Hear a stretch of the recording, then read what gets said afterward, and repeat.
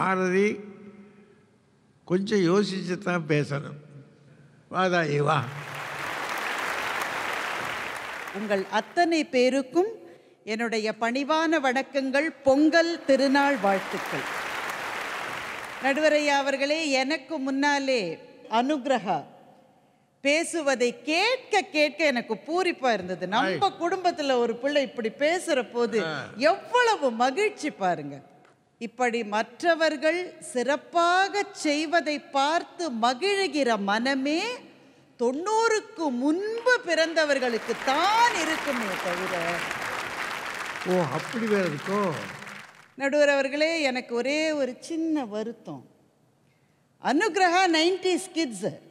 அவங்க அங்கே தான் பேசணும். அதானே?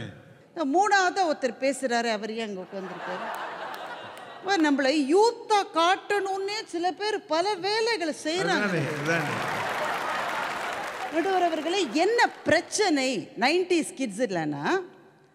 தங்களை தாண்டி உலகத்திலே மனிதர்கள் இருக்கிறார்கள் அப்படின்னே தெரியாமல் வளருகிற ஒரு தலைமுறை நைன்டிஸ் கிட்ஸ் தான். அல்ல அனுகிரகாவுக்கு என்ன சந்தோஷம்னா ராத்திரி பன்னெண்டு மணிக்கு நாங்கள் பீட்சா சாப்பிடுவோம். ஏமா இது ஒரு பெருமையா? எதையுமே நேரத்தில் செய்யாமல் ஒரு தலைமுறை இருப்பது எப்படிங்க பெருமை தரும்? அப்புறம் அவங்க சொல்றாங்க நீங்கள் வரிசையிலே நின்றே வயதானவர்கள். ஆமாப்பா நாங்கள் வயதானவர்கள். உங்கள் அணியில் நிறைய இளைஞர்கள் இருக்காங்க. உங்களாம் வரிசையிலே நின்னது இல்லை. வரிசையில் நின்றால் கூட பக்கத்திலே இருக்கிற ஒரு முதியவருக்கு நீங்க முன்னாடி போங்க அப்படின்னு இடம் கொடுத்து பின்னால் வந்த மனிதம் எங்கள் தலைமுறைக்கு இருந்தது. உங்களுக்கு இருந்ததா அது? நீங்க எல்லாத்தையும் ஆன்லைன்லயே ஆர்டர் பண்றீங்களே. மனுஷங்க முகத்தை எப்பப்பா கடைசியா நீங்க பார்த்தீங்க? எங்களுக்கு ஐநூத்தி இருபத்தி ஏழு நண்பர்கள் எங்க ஃபேஸ்புக்கில் ஒத்த மூஞ்சிய கூட யாரும் பார்த்தது கிடையாது எங்களுக்கு ஐந்து நண்பர்கள் இருந்தாலும் இறுதி மூச்சு வரையில் கூடவே நிற்கிற நேரே பார்த்து பழகுகிற மனிதர்களோடு கலந்து பேசுகிற நட்பு எங்கள் தலைமுறைக்கு வாய்த்த வரம் இல்லையா? இல்லை அனுகிரகா சொல்கிறாங்க நாங்கள் காலையில் எந்திரிச்சா அனிருத் பாட்டை கேட்போம். மத்தியானம் ஆன எம்எஸ்வி பாட்டை கேட்போம். ராத்திரி ஆன எந்த பாட்டையாவது முழுசாக கேட்குறீங்களா? முப்பது செகண்டுக்கு மேலே எதையாவது உங்கள் வாழ்க்கையில் நீங்கள் பார்த்துருக்கீங்களா? இளையராஜாவை பற்றி உங்கள் தலைமுறையில் பேசலாமா? எங்கள் தலைமுறைக்காகவே அவதாரம் எடுத்து எங்கள் வாழ்க்கையை வசந்தமாக்கிய இளையராஜாவினுடைய காலத்தில் வாழ்ந்தவர்கள் நாங்கள் என்பது எங்களுக்கு எவ்வளவு பெரிய பெருமை இல்லையா? ஐயா நாங்கள் சைக்கிளில் ஸ்கூலுக்கு போவையா சைக்கிளில் ஸ்கூலுக்கு போகும்போது டைம் ஆகிடும் ஆனால் ஒரு டீ கடையிலேருந்து தங்கச் சங்கிலி மின்னும் பைங்கிளி தானே கொஞ்சியதோன்னு இளையராஜாவோட பாட்டு வந்தால் அந்த சைக்கிளை நிறுத்திட்டு பாட்டை முழுக்க கேட்டுட்டு பாட்டு முடிஞ்ச உடனே சைக்கிளில் ஸ்கூலுக்கு மிதிச்சிட்டு போமே அந்த நாள் முழுக்க அந்த பாட்டு மனசில் ஒலிச்சு ஒலிச்சு ஒலிச்சு மனசில் சந்தோஷம் வருமே. பாட்டு என்பது அப்படி சந்தோஷத்தை கொடுக்கணும். உங்க தலைமுறையில நீங்க நைன்டிஸ் கிட்ஸினுடைய பிரச்சனை என்ன தெரியுமா? எல்லாமே உங்களுக்கு கை விரல் நுனியிலேயே இருக்கு. நீங்கள் எதையுமே தேடி போவதில்லை எதற்குமே காத்திருப்பதில்லை. நாங்கள் தேடி தேடி காத்திருந்து காத்திருந்து கனவு கண்டு கனவு கண்டு அதை அடைந்த பிறகு இருக்கிற மகிழ்ச்சி எதுக்குமே காத்திருக்காம எதையுமே தேடி போகாம எல்லாம் கையில் இருக்கிற உங்கள் தலைமுறைக்கு அந்த மகிழ்ச்சி எப்படி வரும்னு நான் கேட்குறேன் அனுகிரகா சொல்கிறாங்க ஐச்சி பூம். வந்த பிறகுதான் எங்களுக்கு பணம் வந்தது. ஐடி பூம் வருவதற்கு காரணமாக இருந்த பெரும் ஐடி நிறுவனங்களில் தலைவர்களாக இருப்பவர்கள் எல்லாரும் தொண்ணூறுக்கு முன்னாடி பிறந்தவர்கள தொண்ணூறுக்கு பின்னாடி பிறந்தவங்க? அப்போ விதை போட்டது. நாங்கள் பழத்தை தின்னுவது நீங்க. இப்போ உங்களுக்கு சந்தோஷம் என்பது பழத்தை தின்னுகிற சுகம் மாத்திரம்தான். எங்களுடைய சந்தோஷம் என்பது இது. நாங்கள் உருவாக்கி கொடுத்தது. நாங்கள் உருவாக்கி உங்களுக்கு கொடுப்பது பெரிய சந்தோஷமா? பழத்தை தின்னுட்டு தோலை போட்டுட்டு போற உங்களுடைய சந்தோஷம் பெரிய சந்தோஷம். ரொம்ப அழகாக சொல்லிச்சு பாப்பா. என்ன இப்போ தான் கல்யாணம் ஆயிருக்கு. நீங்கள் அங்கே இருங்க நாங்கள் இங்கே இருக்கோம். இதெல்லாம் நாங்கள் சம்சாரம் அது மின்சாரத்துலேயே பார்த்துட்டோம். இன்னும் இன்னைக்கு தான் இவங்க கண்டுபிடிச்ச மாதிரி. நீங்கள் அங்கே இருங்க நாங்கள் இங்கே இருக்கோம். எது மட்டுமா? நாளைக்கு உங்களுக்கு ஒரு குழந்தை பிறந்தால் நைன்டிக்கு பிறகு பிறந்த யாராவது ஒருவர்கிட்ட குழந்தைய கொடுத்துட்டு போவீங்களா? தொண்ணூறுக்கு முன் பிறந்த உங்க அப்பா அம்மாவை தேடி போய் பிள்ளைய பார்த்துக்க ஹெல்ப் வேணும்னு கேட்க மாட்டீங்க நீங்க. இப்போ அப்படித்தான் சொல்லுவீங்க. செட்டில் ஆன பிறகு கல்யாணம் செய்து கொள்ளுபவர்களும் அவங்க. நாங்கள் செட்டில் ஆகாமலே நாங்கள் கல்யாணம் பண்ணோம். அது ரொம்ப உண்மைங்க. செட்டில் ஆகிறதுக்கு முன்னாடியே தான் நாமெல்லாம் கல்யாணம் பண்ணோம். நைன்டிஸ்க்கு முன்னாடி பிறந்தவங்க. ஆனால் அனுகிரகா செட்டில் ஆகி கல்யாணம் பண்ணிக்கணும். செட்டில் ஆகிட்டே இருந்தால் கடைசியில் அறுபதாம் கல்யாணம் தான் பண்ணிக்கணும். ரொம்ப நேரமாக செட்டில் ஆகிட்டே இருக்கும் உங்கள் தலைமுறை. என்னைக்கு செட்டில் ஆகி முடிக்க போகிறீங்க நீங்கள் அது கூட பரவாயில்லையா? ஹனிமூன் போகிறதுக்கு ஃபோட்டோகிராஃபரை கூட்டிகிட்டு போகிறாங்கய்யா யா நைன்டிஸ் கிட்ஸ் நம்புவீங்களா நீங்கள் சுஜித் சொல்கிறாரு மனதுக்கு பிடித்த வேலையை பிலினியல்ஸ் தான் பண்ணுறாங்க சுஜித் மனசாட்சியோட இப்போ தான் த கிரேட் ரெசிக்னேஷன் ஒன்று போயிட்டுருக்கு உலகம் முழுக்க. ஐயா இந்தியாவில் மாத்திரம் போன வருடமும் இந்த வருடமும் அறுபது சதவிகிதத்தினருக்கு மேலே வேலையை ரிசைன் பண்ணுறாங்க யாருன்னா எல்லாம் தொண்ணூறுக்கு பிறகு பிறந்தது. ஒரு வேலையில் ஒழுங்காக இருந்ததா? சரித்திரமே கிடையாது. நாங்கள் வந்து வேலை செய்வதற்கு போன போது முதல் முதலில் நிறுவனங்களில் சேர்ந்த போது எங்களுக்கு என்று கனவுகள் இருந்தன. மேல் பதவிக்கு எங்களால் போக முடியும் என்று எங்களுக்கு பெரும் கனவுகள் இருந்தன. அந்த கனவுகளுக்காக நாங்கள் உழைத்தோம். நைன்டிஸ் கிட்ஸ்கிட்ட பிரச்சனை என்னன்னா அவங்களுக்கு கனவுகளே கிடையாது. இன்னைக்கு சந்தோஷமா இருக்கணையா? நாளைக்கு எக்கேடு கேட்டா போனா என்ன என்பதுதான் நைன்டிஸ் கிட்ஸினுடைய மனோநிலை. எல்லாத்தையும் விட முக்கியமான விஷயம். அப்பா அம்மாவுக்கும் பிள்ளைகளுக்கும் இருக்கிற உறவு. இந்த பிள்ளைகள் வந்து அம்மாவுக்கு ஏதாவது உதவி செய்வாங்க. அப்போல்லாம் இந்த ஆட்டுக்கல் தானே இருக்கும். இந்த ஆட்டுக்கல்ல அம்மா வந்து அந்த மாவை ஆட்டுகிற போது அந்த மகனோ மகளோ பக்கத்தில் உட்காந்து அந்த மாவை தள்ளி கொடுக்கறதுன்னு ஒன்று செய்வாங்க. இது இது ஒரு முக்கால் மணி நேரம் ஆகும். இந்த முக்கால் மணி நேரத்தில் அந்த அம்மாவுக்கும் அந்த அம்மா படிக்காதவளை தான் இருப்பா. ஆனால் அந்த அம்மாவுக்கும் அந்த மகனுக்கும் அல்லது அந்த அம்மாவுக்கும் மகளுக்கும் இடையே ஏதோ ஒரு பேச்சுவார்த்தை நடந்துக்கிட்டே இருக்கும். உறவுகள் அப்படித்தான் வளர்ந்தன. இன்றைக்கு நீங்கள் கடைசியாக உங்கள் அப்பா அம்மாவை பார்த்து ஒரு பத்து நிமிஷம் எப்போ பேசுனீங்க நீங்கள் நைன்டிஸ் கிட்ஸை கேட்டால் எவ்வளவு பேரால் பதில் சொல்ல முடியும்? எல்லாவற்றுக்கும் மேல். எங்களுடைய குழந்தை பருவத்தை நாங்கள் ஏன் இன்னமும் நினைத்து கொண்டிருக்கிறோம் என்றால் நாங்கள் விளையாடிய விளையாட்டுக்கள் முழுக்க முழுக்க முழுக்க தெருக்களிலே விளையாடிய விளையாட்டுக்கள் தான். பச்சை குதிரைன்னு ஒரு விளையாட்டு இருக்கும். கில்லி விளையாட்டு இருக்கும். பம்பரம் இருக்கும். கல்லாமண்ணா இருக்கும். பூ பறிக்க வருகிறோம் வருகிறோம்னு சொல்லிட்டு ஒரு ஒரு இருபது பேர் சேர்ந்து விளையாடுவாங்க. தெருக்கள் முழுக்க விளையாடுகிற குழந்தைகளின் சத்தங்களினால் நிறைந்திருந்த அந்த இளமை காலம் எங்களுக்கு இருந்தது. உங்களுடைய சாதனங்களை பார்த்து பார்த்து தன்னந்தனியாக பிள்ளைகள் விளையாடி கொண்டிருக்கிற வாழ்க்கை தான் உங்களுக்கு இருக்கிறது என்றால் எது மகிழ்ச்சி? மனிதர் முகத்தை மனிதர் பார்த்து வாழுகின்ற வாழ்க்கை தான் மகிழ்ச்சி எங்களினுடைய இளமை பருவம் எங்களினுடைய குழந்தை பருவம் மனிதர்களால் நிறைந்திருந்த காரணத்தினாலே எங்கள் மகிழ்ச்சி தான் மிகச்சிறந்த மகிழ்ச்சியாக இருந்தது. இந்த பொங்கல் நாளுக்கு பிறகாவது இனிமேல் பிறக்கப் போகிற பிள்ளைகளுக்கு தொண்ணூறுகளுக்கு பின் பிறந்தவர்களுக்கும் அந்த மகிழ்ச்சியை கடவுள் அருளட்டும் என்ற பிரார்த்தனையோடு என்னுடைய உரையை நிறைவு செய்கிறேன். நன்றி வணக்கம். பாரதி இந்த தலைப்பை இன்னொரு உயர்த்து கொண்டு போயாச்சு. வாங்க ராஜா வாங்க.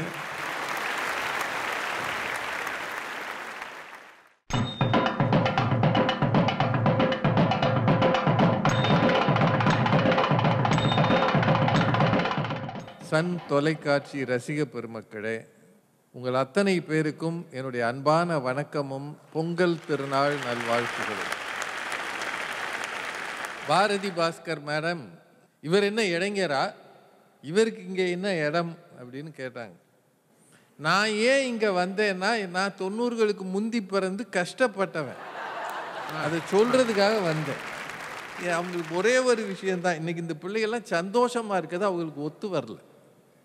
அவன் ஹனிமூனுக்கு ஃபோட்டோகிராஃபர் கூட்டு போகிறான்னா அவனுக்கு வசதி இருக்கு கூட்டு போகிறாமா எங்க காலத்துல ஹனிமூனுக்கு போறோன்னா ஒரு பதினஞ்சு டிக்கெட் கூட வரும் எங்க போவாங்க? கோயிலுக்கு போயிடுவாங்க. சேஷாத்திரி சொல்றாரு புத்தாண்டு அன்று தெருவில் நிற்கிறானே தெருவில் தொடங்குகிற ஏதாவது நல்லா இருக்குமா? கல்யாணத்துல கூட மாப்பிள்ளை அழைப்புல தெருவில் தான் நிற்கிறான் அதுக்காக தெருவில் தொடங்குறது நல்லா இல்லைன்னு அர்த்தமா? சும்மா உங்க வசதிக்கு என்ன வேணாலும் பேசுகிறது இன்னொன்னுங்க அந்த காலமா இந்த காலமான்றதை விட யார் சந்தோஷமா இருக்காங்கன்றதான் கேள்வி. யார் சந்தோஷமா இருக்கான்னா இளைஞர்கள் அது சந்தோஷமா இருக்கா? இவங்க சொல்றாங்க அப்பாவுடன் அம்மாவிடம் பேசுவதே இல்லைன்னு. சரி நான் நான் அறுபதுல பிறந்தவன். எங்கள் அப்பாட்ட நாங்கள் பேசுனதே இல்லை. பேச கிட்ட போனோம்னா ஓங்கி ஒரு அற விடுவார். இதில் கொடுமை என்ன தெரியுமா? சில சமயம் வாத்தியார் அடிச்சிட்டாருன்னு சொல்லி வீட்டில் போய் சொன்னோம்னா வாத்தியார் ஏன்டா அடித்தார் அப்போ நீ என்னமோ பண்ணியிருக்கேன்னு அதுக்கப்புறம் அப்பா அடிப்பார். எந்த அடியையா வாங்குறது? இன்னைக்கு அப்பா அடிக்கிறது இல்லை வாத்தியார் அடிக்கிறது இல்லை அடிக்கிறதா? கனவு கூட காண்றது இல்லை அப்போ யார் சந்தோஷமா இருக்கா? ஆன்லைனில் அவன் படிக்கிறான். உங்களுக்கு தெரியுமா ஆன்லைன் படிப்பை பற்றி என்ன அவ்வளோ சாதாரணமாக சொல்கிறீங்க ஆசிரியர் பேசும்போது ஆஃப் பண்ண முடியுமா? இன்னைக்கு இருக்கிறவனால முடியும். வடக்குன்னு ஆஃப் பண்ணிடுறா. சார் நெட்வொர்க் ப்ராப்ளம் சார் எவ்வளோ ஜாலியாக இருக்காங்க. சார் இது இப்படி சந்தோஷமா இருக்கிறதுனால பிரச்சனையா? அதை பற்றி நான் பேசலை. இவன் நல்லவனா கெட்டவனா அதை பற்றி இங்கே தலைப்பு இல்லை. யார் சந்தோஷமா இருக்கா? பயலுங்க படி சந்தோஷமா இருக்காங்க. எந்த எக்ஸாமும் ரெண்டு மூணு வருஷமா இல்லை. அடுத்த அலை எப்போது வரும்னு யார் காத்திருக்கிறா? அவங்க தான் காத்திருக்காங்க. இந்த இந்த ப்ரிடிக்ஷன்லாம் அதிகம் பார்க்குறது இந்த இந்த சின்ன பசங்க தான். படி சந்தோஷமாக இருக்கா? இவங்க பேசுகிறாங்க எங்களை அதில் பாரதி மேடம் சொன்னாங்க. என்ன பாட்டு அது? தங்கச் சங்கிலி மின்னும் பைங்கிலின்னு ஒரு பாட்டு கேட்டோடனே சைக்கிள் எடுத்துகிட்டு போகிறவங்க நின்றுட்டாகலாம் இது எவ்வளோ பெரிய தப்புங்க. பள்ளிக்கூடம் போகிறத விட்டுட்டு நடுவில் நின்று பாட்டு கேட்டுட்டு அதை பற்றி பெருமையாக வேற வந்து சொல்கிறாங்க நாங்களும் அந்த தப்பை பண்ணியிருக்கோங்க. நான்லாம் குரலி வித்தக்காரன் முன்னாடி போய் நின்றுருக்கேன். அவன் சொல்லுவான் நீ பாதியில் போனேன்னா ரத்தம் கேட்குவேன் இதுக்காகவே ஒரு மணி நேரம் அங்கேயே அழுதுகிட்டே நின்று பள்ளிக்கூடத்துக்கு லேட்டாக போய் இன்னைக்கு இருக்கிற சின்ன பையனை கூப்பிட்டு நீ பாதியில் போனேன்னா ரத்தம் கேட்குவேன்னு ஒரு போயிட்டு சொல்லி பாருங்க. யோ நீ போயா வேலையை பாரியான்ட்டுலாம் அவ்வளோ புத்திசாலிகளாக பிள்ளைகள் இருக்கு பெருமைப்படுவீங்களா? இன்னும் அந்த காலத்தில் நாங்கள் நின்னோம் நாங்கள் பார்த்தோம். சார் இன்னைக்கு இருக்கிற பையன் ரிசைன் பண்ணினா தைரியமாக பண்ணுறான் ஏன் தெரியுமா? இன்னொரு ஆப்பர்ச்சுனிட்டி இருக்குன்ற நம்பிக்கை அவனுக்கு இருக்குது இந்த தொண்ணூறுகளுக்கு முந்தி பிறந்தால ரிட்டையர்மெண்ட் அன்னைக்கு அழுவார் பார்த்துருக்கீங்களா? இதுக்கு மேலே அவருக்கு வேலையே கிடையாது. அறுபது வயசு ஆச்சு. போங்கன்னா சார் இன்னும் கொஞ்ச நாள் எக்ஸ்டென்ஷன் கொடுக்க உங்களை நான் வேண்டிக் கொள்கிறேன். நிறைவுன்றதே இல்லாதது பழைய தலைமுறை. நான் யாரையும் குறைச்சி சொல்லலை. நான் அந்த தலைமுறை தான். என்னத்தை சொல்ல அதில் நம்ம சேஷாத்ரி என்ன இரநூறு மில்லிமீட்டர் மழை பெய்தது அப்படின்னு ரொம்ப வருத்தப்பட்டார். இந்த இரநூறு மில்லிமீட்ரு இருபது சென்டிமீட்டர் மழை ஒரே நாளில் கொட்டி தீர்த்தது. அன்னைக்கும் தொண்ணூறுகளுக்கு முன் பிறந்தவங்க தான் வருத்தப்பட்டிருப்பாங்க. தொண்ணூறுகளுக்கு பின் பிறந்தவன் வெளியில் கிளம்பி யார் யார் கஷ்டப்படுறாங்களோ அவளை பார்க்கறதுக்காக உதவி செய்கிறதுக்காக போயிருப்பான். தொண்ணூறுகளுக்கு முன் மனநல மருத்துவர்கள் கிடையாது. மோட்டிவேஷனல் ஸ்பீக்கர் கிடையாது. ஆமாம் ஆலமரத்து அடியில் உட்காந்து ஆடுபுலி ஆடுறவங்களுக்கு மனநல மருத்துவர் எதுக்கு? மோட்டிவேஷன் ஸ்பீக்கர் இதுக்கு பொழுது போகாமல் அங்கே உட்காந்து ஆடுபுலி ஆட்டம் பச்சை குதிரை பூப்பறிக்க வருகிறோம். கில்லி தாண்டு. இதுக்கெல்லாம் மனநல மருத்துவரம்மா. என்னம்மா நீங்கள் என்ன சொல்ல. சார் எப்படி சந்தோஷமாக இருக்கான் தெரியுமா? ஏ முடி வெட்டுறதுன்னு ஒரு பெரிய இஷ்யூ இருக்கும் சின்ன பசங்களுக்கு.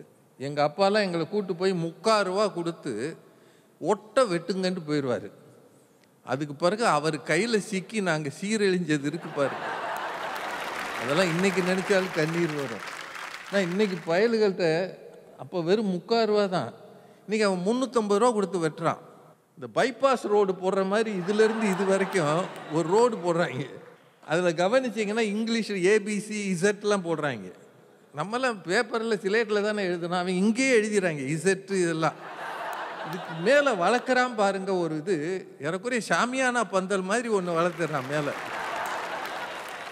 சார் இதெல்லாம் சரியா தப்பா இப்படியெல்லாம் நேரத்தை வீணடிக்கிறான் இது பேசக்கூடாது அவன் ஜாலியாக இருக்கானா இல்லையா?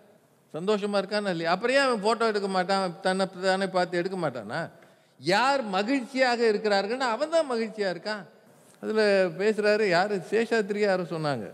பிகாம் ஃபஸ்ட் கிளாஸில் படித்தால் உங்களுக்கு ஃபஸ்ட் கிளாஸாக வேலை கிடைக்கும். சேஷாத்திரி தானே சொன்னீங்க? நான் பிகாம் ஃபஸ்ட் கிளாஸுங்க பொய் சொல்லலை. யூனிவர்சிட்டி ரேங்க்கு ஆறு மாதம் வேலை இல்லாமல் இருந்தேன். ஆறு மாதம் ஒரு நாள் காலையில் பழைய சோறு சாப்பிட உட்காந்துருக்கேன் கூட பக்கத்தில் இருந்தது ஊருகா எங்கள் அப்பா ஒரு வாத்தியார் ஹெட் மாஸ்டர் அவர் வந்து இப்படி பார்த்தாரு. ஒரு வேலைக்கு போய் அஞ்சு ரூபா சம்பாதிக்க துப்பு இல்லை. உனக்கெல்லாம் விடியமுன்னு சோறான்னு கேட்டார். இது நிஜமாக நடந்தது. ஆறே மாதம் வேலைக்கு போகாமல் இருந்தேன். ஃபஸ்ட் கிளாஸ் வந்தோடனே உடனே வேலை கிடச்சிருமோ? அனுபவிச்சா தான் தெரியும். எங்கள் அப்பாவுக்கிட்ட பிரியம் இல்லைன்னு நான் சொல்லலை. ஆனால் அந்த காலம் அப்படி. அடுத்தடுத்து பிள்ளைகள் இருந்தது. படிக்கணுன்ற நெருக்கடி இருந்தது. என்னத்தை சொல்ல உங்களை? இன்னைக்கு இருக்கிற பயல்கள் லைஃப் ஸ்டைலே வேறு மாதிரி ஆயிடுச்சு இப்போ நாங்கள் எல்லாரும் பெண்களை வந்து படிக்கிற காலத்தில் பார்த்ததே இல்லைங்க. பள்ளி க பள்ளிக்கூடத்தில். இன்றைக்கி அவன் சின்ன வயசுலேருந்து கோ எஜுகேஷன் படிக்கிறான். ஃபுல்லாக ஜாலியாக சிரிச்சமாக இருக்காங்க. அடித்து விளையாடுறாங்க. வாழ்க்கையை மாற்றிட்டு அவன் படு சந்தோஷமாக இருக்கான். நம்ம வணக்கம் போட்டாலே அப்பா ரெண்டு தடவை கூப்பிடாரு என்ன அந்த பொண்ணை பார்த்துக்கிட்டே இருக்க நீ? ஒரு மார்க்கமாக திரியிறேன்னு நமக்கு பின்னாடி ஒரு சிபிஐ மாதிரியே தெரிஞ்சாங்க அந்த காலத்தில். இந்த பிள்ளைகள் பிறரை அனுசரித்து சகித்து வாழ்வது இந்த தலைமுறையில் கொஞ்சம் நெருக்கடியாகத்தான் இருக்கிறது. ஆனால் அவன் சந்தோஷமாக இருக்கான். அவன் என்ன வேணுமோ அதன்படி செய்கிறான் தொண்ணூறுகளுக்கு முன் உலகம் என்பது சுருங்கி இருந்தது.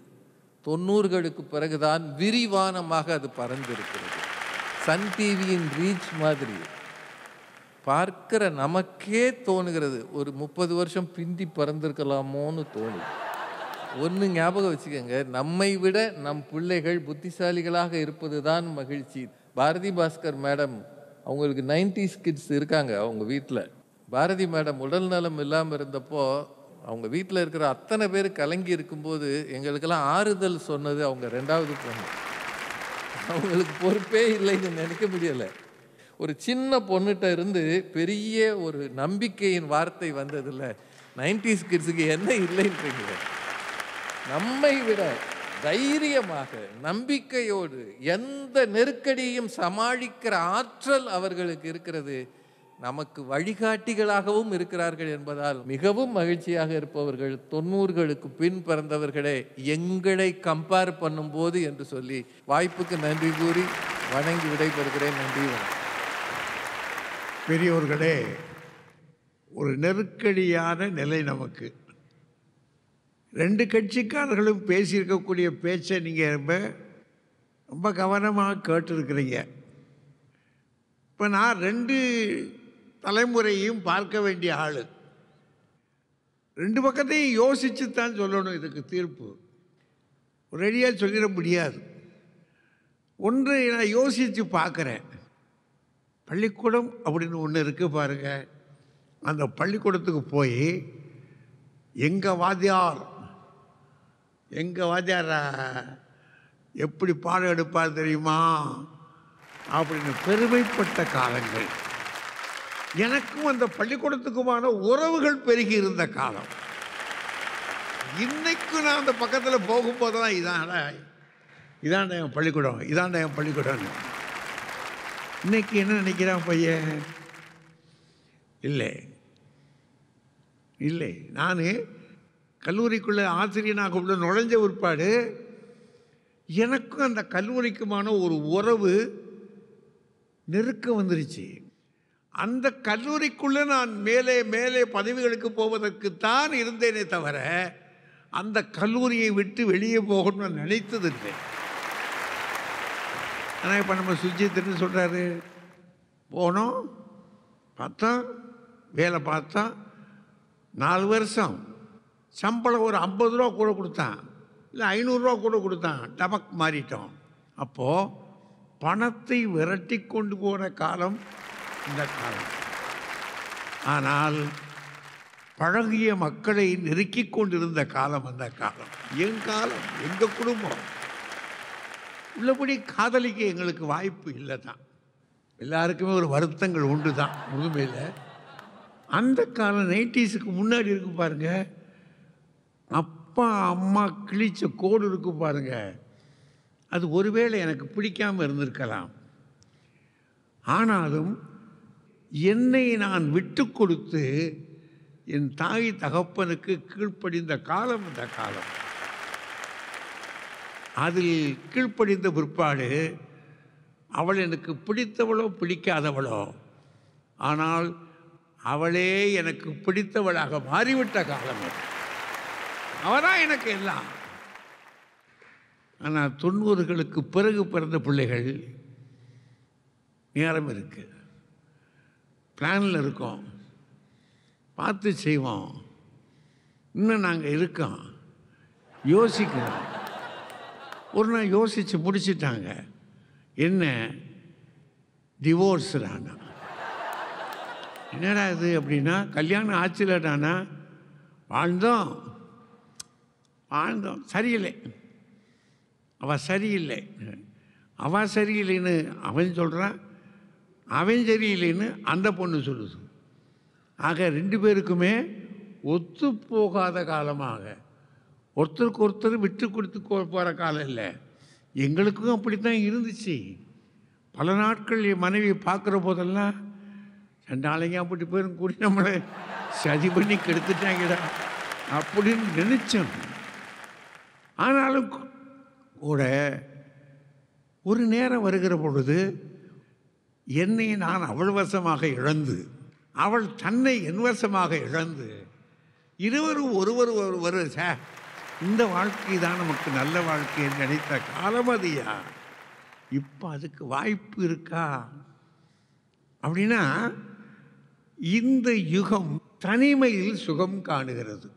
மகிழ்ச்சி கிடைவது எதுன்னா அது தானுண்டு. ஆ அப்படியே அதோடு ஆ ஆ ஆ. அதுவா இதை பார்க்குது சிரிக்குது. இதை பார்க்குது சிரிக்குது. ஒன்றை பார்த்து அதுவாக அதுக்கு ஒரு எந்திரமும் அதுவாக இருக்குது. இது எந்திரங்களும் அதுவாக இருக்கக்கூடிய இது மகிழ்ச்சி ஆகாது. மானுடமும் மானுடமும் கூடி மகிழ்வதாயா மகிழ்ச்சி. நல்லா யோசித்து பார்த்தா இப்போ இருக்க பிள்ளைகளுக்கு வசதிகள் கூடிருச்சு. அதில் குறைவில் சொல்ல முடியாது. நாங்கள் நாங்கள் அனுபவித்த வசதிகளை விட இன்றைக்கி வசதிகள் எத்தனை வசதிகள் எத்தனை வசதி? அவன் அதை மகிழ்ச்சின்னு நினைக்கிறான். எனக்கு என்னவோ அவனை பார்க்கிற பொழுது மகிழ்ச்சியாக தெரியவில்லை. எங்கே இந்த பிள்ளை எங்கோ ஒரு குழிக்குள்ளே இறங்கி விடுகிறானோ என்ற அச்சம் எனக்கு இருக்கிறது. ஆனால் பெரியவர்களே மனிதம் மனிதத்தை நேசிக்க வேண்டும். அது பழமை. அதில் தான் சுகம் இருக்கிறது. எனக்கு என்னவோ அன்றைக்கு இருந்தவர்களுடைய மகிழ்ச்சியிலே இன்னைக்கு இருக்கிறவருடைய மகிழ்ச்சியை என்னால் உச்சமாக சொல்ல முடியவில்லை. ஆனால் அவர்கள் மகிழவில்லை என்று நான் தள்ளவும் மாட்டேன். ஆனாலும் அவர்களின் மகிழ்ச்சியை விட தொண்ணூறுகளுக்கு முன்னே பிறந்தவர்கள் இருக்கிறார்களே அவர்களின் மகிழ்ச்சி தான் சிறப்பாக வாழ்ந்து கொண்டிருக்கிற குறிப்பு என்று நான் கருதுகிறேன்.